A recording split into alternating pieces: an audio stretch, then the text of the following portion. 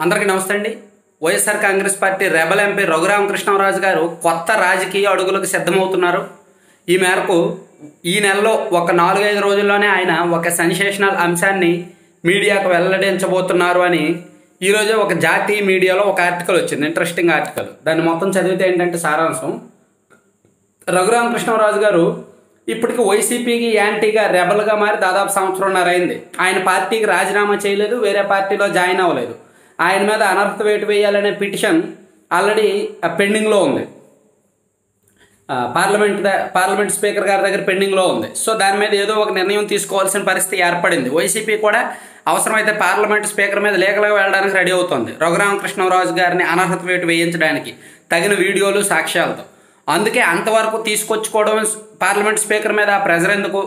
నేనే రాజీనామా చేసేస్తే పోద్ది. నేనే వైసీపీకి ఎంపీ పదవికి రాజీనామా చేసి వేరే పార్టీలో చేరి నరసాపురం ఉప ఎన్నికలకు వెళ్తే బాగుంటుంది కదా అని రఘురామకృష్ణరాజు గారు ఆల్మోస్ట్ మొత్తం సిద్ధం చేసుకున్నారు.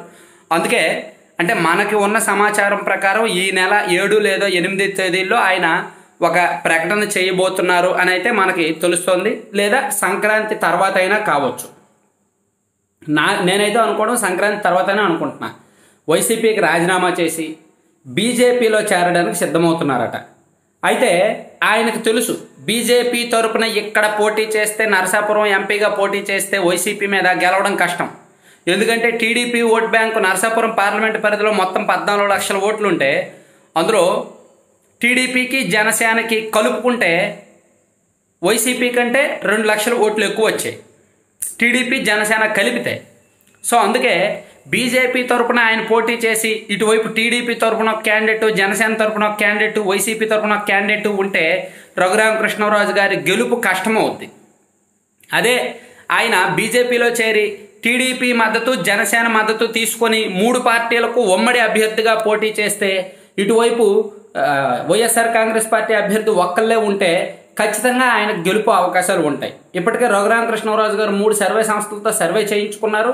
నియోజకవర్గాల వారీగా ఇప్పుడు నరసాపురం పార్లమెంట్ పరిధిలో ఉన్న నియోజకవర్గాలు అన్నీ కూడా ఆయన పట్ల పాజిటివ్గానే ఉన్నాయని సో ఖచ్చితంగా తను గెలవడం అయితే ఖాయమని అధికార పార్టీ ఎంత పవర్ పాలిటిక్స్ చేసినా ఎన్ని ప్రలోభాలు చేసినా సరే తను కనీసం లక్ష మెజారిటీతో ఈజీగా గెలుస్తానని ఆయన చాలాసార్లు చెప్పారు. ఆఫ్ ది రికార్డ్ కూడా తనతో మాట్లాడిన వాళ్ళతో చెప్తున్నారు.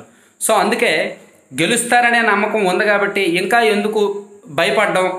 రాజీనామా చేస్తారు. ఏపీ అంటే రా- ఆయన ప్రణాళిక ఏంటంటే రాజీనామా చేయడం వైసీపీకి ఎంపీ పదవికి కూడా రాజీనామా చేయడం ఆంధ్రప్రదేశ్కు రావడం.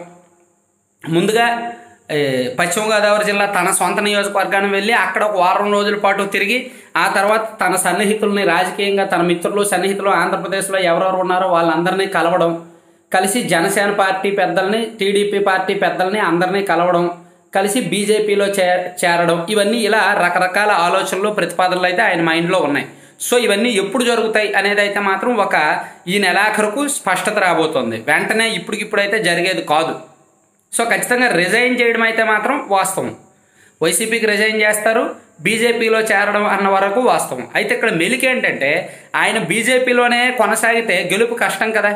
సో ఇప్పుడు మూడు పార్టీలు ఉమ్మడి అభ్యర్థిగా పోటీ చేసి వైసీపీకి వ్యతిరేకంగా పోటీ చేసి గెలుస్తారు. మరి వచ్చే ఎన్నికల్లో సార్వత్రిక ఎన్నికల్లో పరిస్థితి ఏమిటి? అప్పుడు బీజేపీ టీడీపీ పొత్తు ఉండదు. అప్పుడు కూడా టీడీపీ అతనికి సహకరించదు కదా. సో అప్పుడు ఏం చేస్తారంటే ఈ కొన్నాళ్ళు బీజేపీలో కొనసాగి మళ్ళీ వచ్చే ఎన్నికల నాటికి జనసేన టీడీపీ పొత్తు ఎలాగా ఉంటుంది కాబట్టి అప్పుడు ఈ రెండు పార్టీల్లో ఏదో ఒక దానిలో చేరాలి అనేది ఆయన ఆలోచన. అంటే ఇప్పుడప్పుడే మనం కన్ఫర్మ్ చేయలేం కానీ ప్రస్తుతానికి ఉన్న సమాచారం అయితే వైసీపీ నుంచి బయటకు రావడం ఖాయం ఎంపీ పదవికి రాజీనామా చేయడం ఖాయం ఉప ఎన్నికలకు వెళ్ళడం ఖాయం గెలుపు పట్ల ఆయనకు అత్యంత నమ్మకం ఉన్నది అనేది ఖాయం. అయితే ఇక్కడ మనం ఇంకో విషయం చెప్పుకోవాలి ఫైనల్గా. రఘురామకృష్ణరాజు గారు నిజంగా రాజీనామా చేసి ఉప ఎన్నికలకు వెళ్తే వైసీపీ చూస్తూ ఊరుకుంటుందా? ఆయన్ను గెలవనిస్తుందా? కుప్పంలో ఏ తరహా రాజకీయం చేసిందో ఏ తరహా పవర్ పాలిటిక్స్ చేసిందో అంతకన్నా దారుణమైన పవర్ పాలిటిక్స్ నరసాపురం పార్లమెంట్ పరిధిలో వైసీపీ చేస్తుంది. మరి అవన్నీ ఎదుర్కోవడానికి రఘురామకృష్ణరాజు గారు సిద్ధమా లేదా అనేది చూడాలి. దానికి సిద్ధమైతే ఇంకా ఒక పెద్ద చరిత్రలోనే ఒక పెద్ద ఉప ఎన్నిక మనం చూడబోతున్నట్టే చెప్పుకోవచ్చు. సో ఏం జరుగుద్ది అనేది చూద్దాం. ఈ నెలాఖరు వరకు ఒక మనకి స్పష్టత రాబోతుంది. సంక్రాంతి తర్వాత అనుకుంటున్నాను ఈ జాతీయ మీడియాలో అయితే ఈ నెల ఏడు లేదా ఎనిమిది తేదీల్లో అని రాశారు కానీ వార్త నేనైతే సంక్రాంతి తర్వాతనే అనుకుంటున్నాను ఏది జరుగుతుందనే చూద్దాం.